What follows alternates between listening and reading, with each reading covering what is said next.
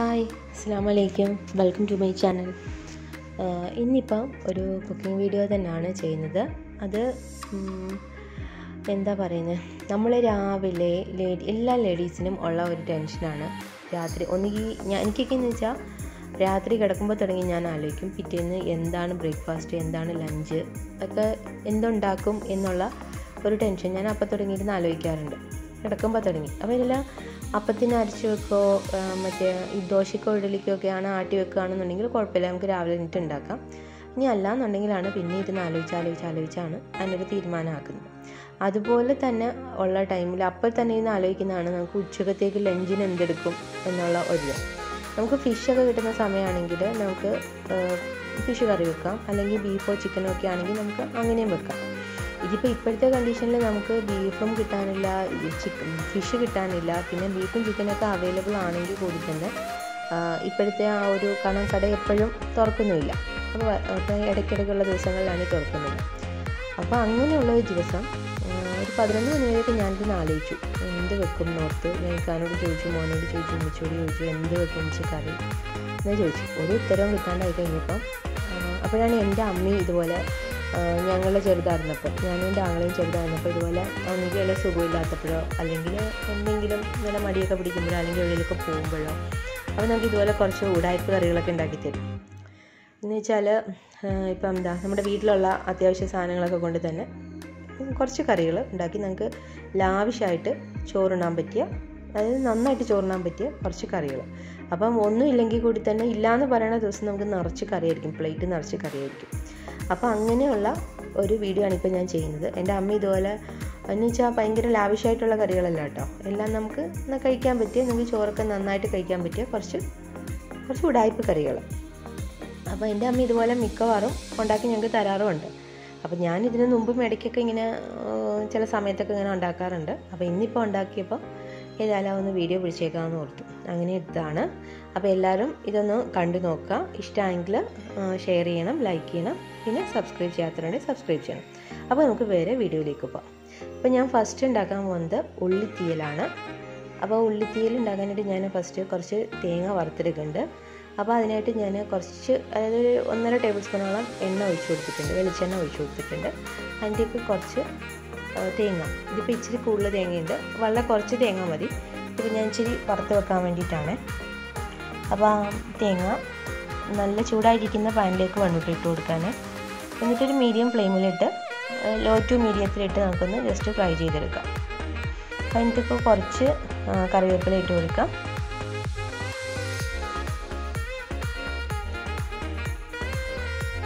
പിന്നെ ഈ സമയത്ത് നമുക്ക് ഒരു കഷ്ണം ഇഞ്ചിയുടെ ചെറിയൊരു ഇഞ്ചിയുടെ കഷ്ണം ചെറുതായിട്ട് അരിഞ്ഞതും കൂടി ഇട്ട് കൊടുക്കാം. പിന്നെ നമ്മളിപ്പോൾ ഇപ്പോൾ ഉള്ള ആൾക്കാർ കൂടുതലും മുളക് പൊടിയാണ് ചേർക്കുന്നത്. അപ്പോൾ ഞാൻ ഞാനും ഒക്കെ അതായിരുന്നു മുളക് പൊടിയാണ് ചേർത്തുകൊണ്ടിരുന്നത് അപ്പോൾ ഇന്നിപ്പോൾ എന്റെ ഒരു മുളക് ഉള്ളത് കാരണം ഞാനൊരു മൂന്നാലഞ്ച് കഷ്ണം മുളക് ഇട്ടിട്ടുണ്ട്. ചുമന്ന മുളക് ഒരു ആറെണ്ണം ഉണ്ട്. അതൊന്ന് കട്ട് ചെയ്തിട്ട് കൊടുക്കാം. അപ്പം മുളക് പൊടിയാണെന്നുണ്ടെങ്കിൽ ഈ സമയത്ത് ചേർക്കത്തില്ല. അല്ലെങ്കിൽ നല്ലതായിട്ട് വറുത്ത് കഴിഞ്ഞതിന് ശേഷം മാത്രമാണ് ചേർക്കത്തുള്ളൂ. ഇനി ഇത് കഴിയുമ്പോൾ ഇതിനകത്തേക്ക് നമുക്ക് കുറച്ച് മല്ലി ഇട്ട് കൊടുക്കണം. അതും ഞാൻ മല്ലി ഉള്ളതാണ് മല്ലി ഇട്ട് കൊടുക്കുന്നത് ഒരു രണ്ട് ടേബിൾ സ്പൂണോളം മല്ലി ഇട്ട് കൊടുത്തിട്ടുണ്ട്. എന്നിട്ട് നല്ലപോലെ തന്നെ ഒന്ന് വറുത്തെടുക്കാം.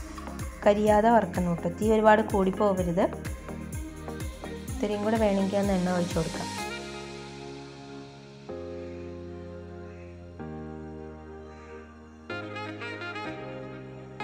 ഇതാ ഇപ്പം ഏകദേശം അത് വറുത്ത് വന്നിട്ടുണ്ട്. പിന്നെ ഈ സമയത്ത് നമുക്ക് കുറച്ച് മഞ്ഞൾപ്പൊടി ഇട്ട് കൊടുക്കണം. അതാണ് ഈ സമയത്ത് ഇങ്ങനെ വറന്ന് വരുമ്പോൾ മാത്രമാണ് നമ്മൾ മുളക് പൊടിയാണെങ്കിൽ പൊടി ചേർത്ത് കൊടുക്കാൻ പാടുള്ളൂ. ഇപ്പോൾ ഇതിപ്പോൾ ഇങ്ങനെ മുളക് മഞ്ഞൾപ്പൊടി മാത്രമാണ് ആ സമയത്ത് ചേർക്കുന്നത് മുളകായത് മുളക് മല്ലി ആയതുകൊണ്ടാണ് നേരത്തെ തേച്ചത്. നേരത്തെ ചേർത്തത്. അപ്പോൾ ഇത്രയേ ഉള്ളൂ. ഇനി ഇതൊന്ന് തണുക്കാനായിട്ട് മാറ്റി വെക്കണം. ഇനി നമുക്കിത് ഉള്ളിക്കറി ഉണ്ടാക്കി തുടങ്ങാം. ഉള്ളിക്കറി എന്ന് പറയാൻ പോലെ ഉള്ളി തീയലിന് പറയുക വറുത്തരച്ച് വെക്കുന്നതിന്റെ തീയലായിട്ടാണ്. അപ്പോൾ ഇനി ആദ്യം അതും വെളിച്ചെണ്ണയിൽ തന്നെയാണ്. കടുക് പൊട്ടിയതിന് ശേഷം ഉള്ളി. ഇപ്പോൾ ചെറിയ ഉള്ളി ആയതുകൊണ്ട് ഞാൻ ഫുള്ളായിട്ട് തന്നെ മുഴുവനെ തന്നെ ഇട്ട് കൊടുത്തു. വലുതാണെങ്കിൽ ഒന്ന് കട്ട് ചെയ്തിട്ട് കൊടുക്കാം. നീളത്തിൽ കട്ട് ചെയ്യുന്ന കേട്ടോ നല്ലത്. എന്നിട്ട് ഇതിനകത്തേക്ക് കുറച്ച് പച്ചമുളക് ഇട്ട് കൊടുക്കണം. ഒരു മൂന്നാൽ പച്ചമുളക് നീളത്തിൽ കട്ട് ചെയ്ത് ഒരു മൂന്നാൽ വെളുത്തുള്ളി അല്ലി. അതും അങ്ങനെ തന്നെ മുഴുവനെ തന്നെ ഇട്ട് കൊടുക്കാം. ഇത് കുറച്ച് ഉപ്പും കൂടി ഇട്ട് ഒന്ന് വഴറ്റിയെടുക്കാം.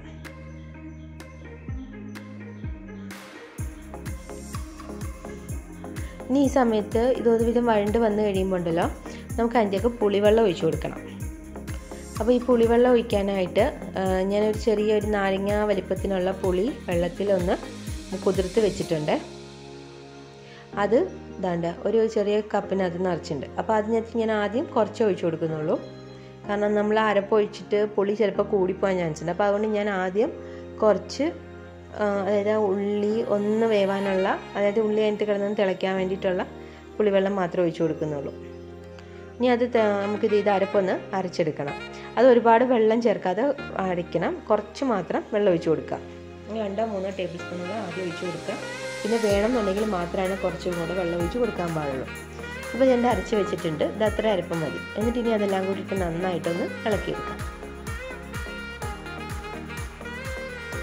ഇപ്പോൾ അത് തിളച്ച് വരുമ്പോൾ ഇതിന്റെ ഉപ്പുണ്ടോ എന്ന് നോക്കുക. എന്റെ പുളിയും കുറവാണെന്നുണ്ടെങ്കിൽ നമുക്ക് ബാക്കിയുള്ള പുളിവെള്ളം കൂടെ ഒഴിച്ചു കൊടുക്കാം. ഇനി അതങ്ങനെ തിളച്ച് ഒരുവിധം ഒന്ന് ഒരുപാട് വെള്ളം ചേർക്കാത്തിരിക്കുന്നതാണ് കേട്ടോ നല്ല തീയലിന് നമുക്ക് തൊടുകറി പോലെയാണ് നമ്മൾ തീയൽ യൂസ് ചെയ്യുന്നത്. അപ്പോൾ അതുകൊണ്ട് ഇപ്പോൾ തെളിഞ്ഞ് വരുമ്പോൾ നല്ലതായിട്ട് എണ്ണ തെളിഞ്ഞ് വരും. എന്നിട്ട് ആ തിളച്ച് വരുമ്പോൾ എന്നിട്ട് ഈ ലാസ്റ്റ് ആ എണ്ണ തെളിഞ്ഞ് വരുന്ന ആ സമയമുണ്ടല്ലോ അതിനകത്ത് നമ്മൾ ഇറക്കുന്നതിന് തൊട്ട് മുമ്പ് ജസ്റ്റ് ഒരു രണ്ട് ടേബിൾ രണ്ട് സ്പൂണോളം എണ്ണ വെളിച്ചെണ്ണ ഉണ്ടല്ലോ വെളിച്ചെണ്ണ അതിന്റെയൊക്കെ ഒഴിച്ചു കൊടുക്കാം. എടുത്ത് നമുക്ക് എന്നിട്ട് എടുത്ത് മാറ്റി വെക്കാം. കുറച്ച് കറിവേപ്പില ഇട്ട് നമുക്ക് മാറ്റി വെക്കാം അങ്ങനെ നമ്മുടെ ഉള്ളിത്തീയൽ ഇവിടെ റെഡി ആയിട്ടുണ്ട്. നമുക്ക് അടുത്ത കറി വെക്കാം. അതിനായിട്ട് ഞാനിവിടെ ഒരു ചട്ടി വെച്ചിട്ടുണ്ട്. അതും അതുപോലെ തന്നെ വെളിച്ചെണ്ണ ഇട്ടു. പിന്നെ കടുക് പൊട്ടിക്കാൻ ഇട്ടിട്ടുണ്ട്.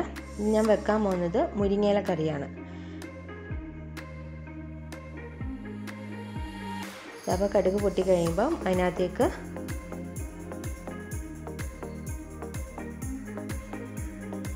രണ്ട് മുളക് ഇട്ട് കൊടുക്കാം. ചെറിയ വറ്റൽമുളക് ഇട്ട് കൊടുക്കുക എന്നിട്ട് അതിന്റെക്ക് ഞാൻ ഇതിന്റെ മുരിങ്ങയിലയാണ് എടുത്ത് വെച്ചേക്കുന്നത്. ആ മുരിങ്ങയില അതിന്റെക്ക് ഇട്ട് കൊടുക്കുക ഇതിപ്പോൾ കുറച്ചേ ഉള്ളൂ. ഇതിപ്പോൾ ഈ മുരിങ്ങയില എന്താ പറയുക ഇപ്പം മിക്ക വീടുകളിലും ഉണ്ട് മുരിങ്ങയില ഉണ്ട്. അപ്പോൾ ചെറിയ ടൗണിലൊക്കെ താമസിക്കുന്നവർക്കാണ് കിട്ടാൻ ബുദ്ധിമുട്ടുള്ളൂ. ബാക്കി എല്ലാ വീടുകളിലും കിട്ടുന്ന സംഭവമാണ് ഈ മുരിങ്ങയില എന്ന് പറയുന്നത്. അപ്പോൾ അത് എന്നിട്ട് ജസ്റ്റ് അത് കുറച്ച് മതി. വളരെ കുറച്ച് മതി. എന്നിട്ട് അതൊന്ന് ജസ്റ്റ് വെളിച്ചെണ്ണയിൽ തന്നെ ഒന്ന് വഴറ്റിയെടുക്കാം.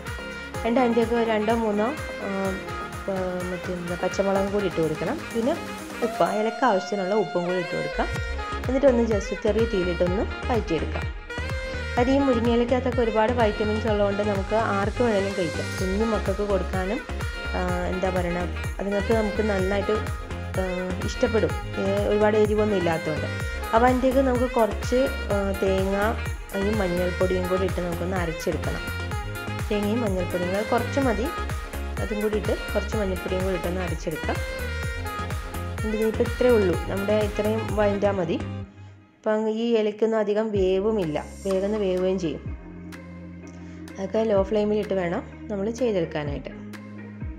ഇപ്പം ഇനി അതിനകത്തേക്ക് നമുക്ക് അരപ്പൊഴിച്ച് കൊടുക്കാം. ഇത്രയേ ഉള്ളൂ. അങ്ങനെ ഇത്രയേ ഉള്ളൂ. നമ്മുടെ മുരിങ്ങയില കറിയും റെഡിയായി അപ്പോൾ അരപ്പൊടി അങ്ങോട്ട് ഒഴിച്ചു കൊടുത്താൽ ഒരുപാട് വെള്ളം ഒഴിച്ച് കൊടുക്കരുത്. ഒരുപാട് വെള്ളം ചേർക്കാതിരിക്കുന്നതാണ് നല്ലത്. ജസ്റ്റ് അതൊന്ന് കഴുകി ജസ്റ്റ് വെള്ളം ഒഴിച്ച് കൊടുക്കാം ഇതാ അത്രയേ ഉള്ളൂ. ഇത്രയും വെള്ളം ഒഴിച്ചാൽ മതി. എന്നിട്ട് തീ കുറച്ച് വെച്ചേക്കുക. അപ്പോൾ അതിന്റെ തിളച്ച് പോവരുത്. തിളച്ച് പോവാതെ ജസ്റ്റ് ഒരു തിള അങ്ങോട്ട് വന്ന് തുടങ്ങുമ്പോൾ തന്നെ നമുക്കിത് എടുക്കാവുന്നതേ ഉള്ളൂ. അപ്പോൾ അതിന്റെ ആവശ്യത്തിനുള്ള ഉപ്പൂടെ ഇട്ട് കൊടുക്കുക. നമ്മൾ ആദ്യം മുമ്പ് ഇലക്ക് ഉപ്പിട്ടിട്ടുണ്ട്. അപ്പോൾ അതോടെ നോക്കിയിട്ട് മാത്രം ഉപ്പിട്ട് കൊടുക്കുക. ഇതാ ഇത്രേ ഉള്ളൂ നമ്മുടെ മുരിങ്ങയില കറി ഇവിടെ റെഡി ആയിട്ടുണ്ട്. എല്ലാവർക്കും മക്കൾക്കൊക്കെ ഒത്തിരി ഇഷ്ടപ്പെടും. കാരണം ഒരുപാട് എരിവൊന്നും ഇല്ലാത്തതുകൊണ്ട് കുഞ്ഞു നമ്മുടെ കൊച്ചു കുഞ്ഞുങ്ങളുണ്ടല്ലോ ചെറുതായിട്ട് ചോറൊക്കെ കൊടുത്തു തുടങ്ങുന്ന ആ സമയത്തും മക്കൾക്ക് കൊടുക്കാനുള്ള. അപ്പോൾ വയറിന് സ്റ്റൊമക്ക് എന്തെങ്കിലും പ്രോബ്ലം ഉണ്ടെങ്കിൽ അവർക്കും കഴിക്കാൻ പറ്റിയ നല്ലൊരു കറിയാണ്. അപ്പോൾ തിളച്ച് വരുന്ന സമയത്ത് നമുക്കിപ്പോൾ എടുക്കാം. അത്രേ ഉള്ളൂ നമ്മുടെ മുരിങ്ങയില കറി ഇവിടെ റെഡിയായി അപ്പോൾ രണ്ട് കറിയായിട്ടോ ഇനി നമുക്ക് അടുത്തത് ഇവിടെ ഉമ്മച്ചി വാപ്സിക്ക് വേണ്ടിയിട്ട് കുമ്പളങ്ങ കറി വെക്കുന്നുണ്ട്. കുമ്പളങ്ങയും മാങ്ങയും പച്ചമുളകൊക്കെ കൂടി കറി. അത് ചിലയ്ക്ക് ഇന്ന് ചെമ്മീനൊക്കെ ഇടുന്നതാണ്. ഇന്നിപ്പോൾ ചെമ്മീനൊന്നും ഇട്ടിട്ടില്ല. ചുമ്മാ കുമ്പളങ്ങയും മാങ്ങയും പച്ചമുളകും ഉപ്പും മഞ്ഞൾപ്പൊടിയും കൂടി ഇട്ട് വേവിക്കാൻ വെച്ചേക്കാണ്. ഇനി അതിനകത്തുള്ള അരപ്പ് റെഡിയാക്കി എടുക്കണം.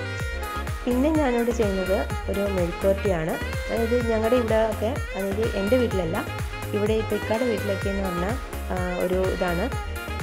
കായും നമ്മുടെ ഏത്തക്കായ ഉണ്ടല്ലോ ഏത്തക്കായും അച്ചിങ്ങ അതായത് പയർ. പയറും കൂടെ മെഴുക്കുവരട്ടി വെക്കുക. രണ്ടും കൂടി ചേർത്ത് മെഴുക്കുവരട്ടി വെക്കുക.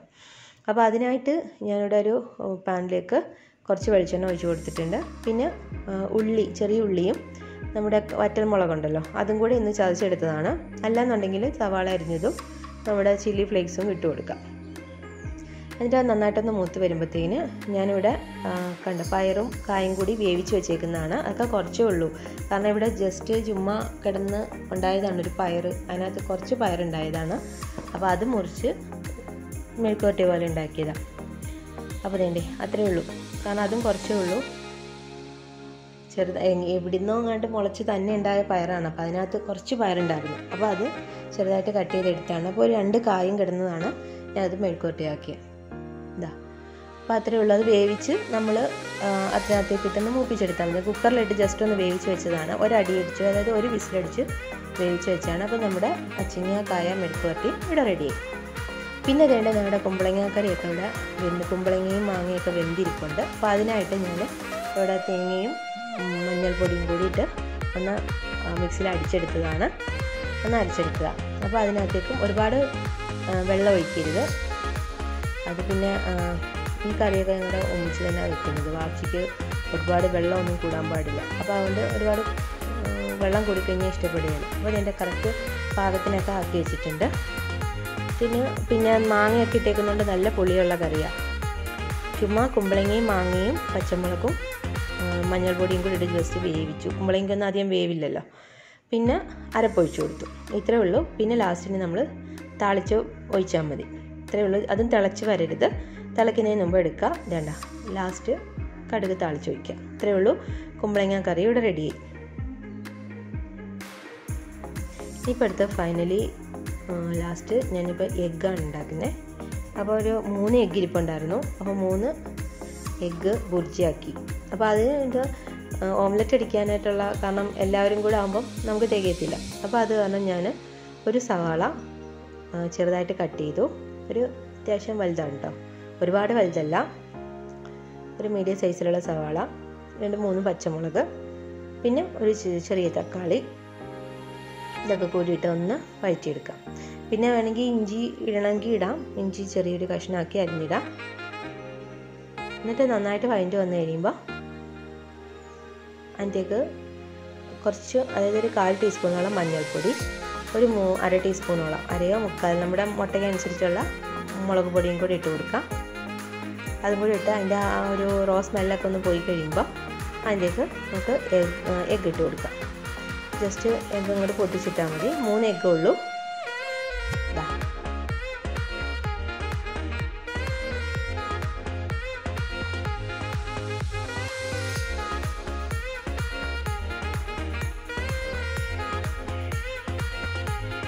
അപ്പോൾ നമ്മുടെ ഇതുണ്ട് ഇത്രയേ ഉള്ളൂ. നമ്മുടെ എഗ് ബുർജി ഇവിടെ റെഡി ആയിട്ടുണ്ട്. ഇനി കുരുമുളക് പൊടിയൊക്കെ വേണമെന്നുണ്ടെങ്കിൽ കുറച്ച് ഇട്ട് കൊടുക്കാം.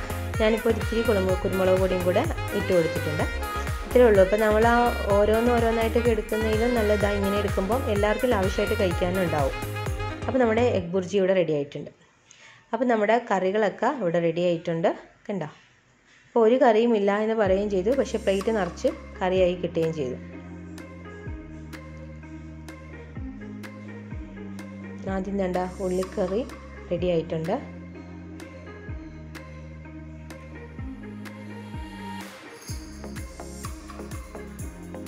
പിന്നെ വേണ്ട മെഴുക്കുവരട്ടി റെഡി ആയിട്ടുണ്ട്. അതായത് പയറും കായും കൂടെ വെച്ച മെഴുക്കുവരട്ടിയാണ്. പിന്നെ അതിന്റെ എഗ് പൊരിച്ചി റെഡി ആയിട്ടുണ്ട്. അതായത് നമ്മൾ പച്ച മലയാളത്തിലൊക്കെ പറഞ്ഞ മുട്ടത്തോരൻ മുട്ട ചിക്കി എടുത്തതെന്ന് പറയും. പിന്നെ ഇതുണ്ട് നമ്മുടെ മുരിങ്ങയില കറി റെഡി ആയിട്ടുണ്ട്.